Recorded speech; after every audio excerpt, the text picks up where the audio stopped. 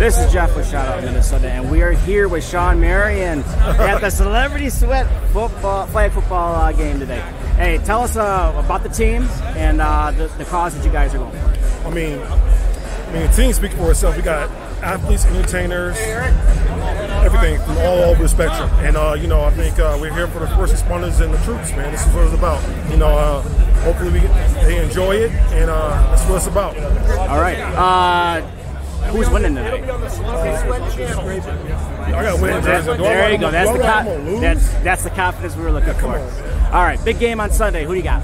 Oh man, uh, I don't know, man. I think uh, you got two solid teams, and it's been a great year. Uh, I don't have no favorites, man. You know, it's almost like you don't want to bet against Patrick Mahomes, but uh, you know, it's the reason why the 49ers are here too, though. So, like, you know, I want to see a great game. I care. I mean, I'm not. I'm fans of a few guys on both teams, so my team is not here. So, at the end of the day, it's whatever. NBA Finals. Who's in it? Ooh, this year, I, I want to hear you say Oh. Minnesota. That's what we want You know hear. what? Low key, they're one of my sleepers.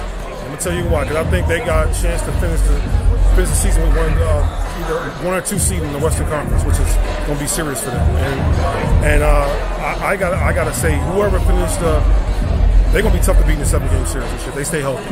They play, they're playing great basketball, and uh, some of the games that they lost, they got to play individual. When they play team ball, they're playing really well. All right. Thank you so much for your No time. problem. No problem.